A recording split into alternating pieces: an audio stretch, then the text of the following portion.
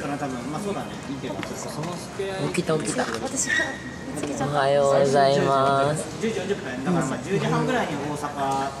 10時半ぐらい。ぐらいにおはよう。おはようございます。難波が近いし終電の話もホテルに行があるさ何トレードセンターを27分に発 現在11分あです。駆け込み？7時。う別にもしさんがいいなら。あマジ？んマジ。あ全然いい。起きてもらってもう余裕です帰るの面倒いくなったらそれしかない来てちょっと寝ぼけたまま行くと大変なことになるんで。T シャツ T シャツもらったずっとその過程をまた会える。またまた来年。また来年。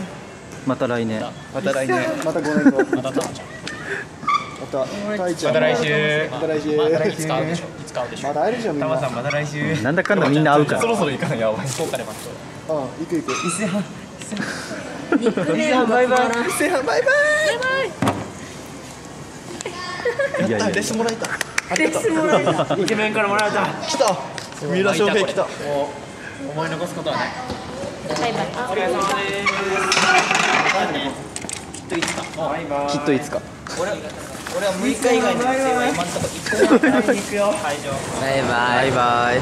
また来年。また来年絶対名古屋来あの受験終わったらまた遊びましょうね。遊びましょうさようなら。さよなら。帰りますね。はい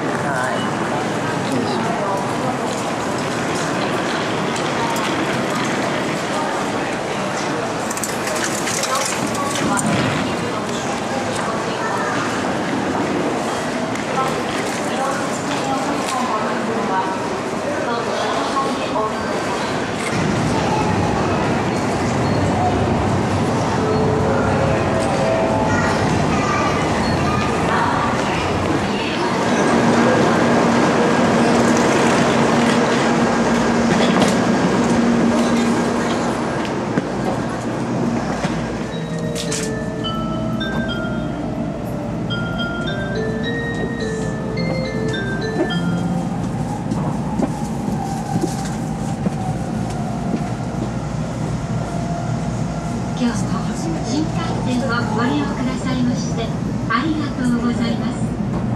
この電車はのぞみ号東京行きです。途中の停車駅は京都名古屋新横浜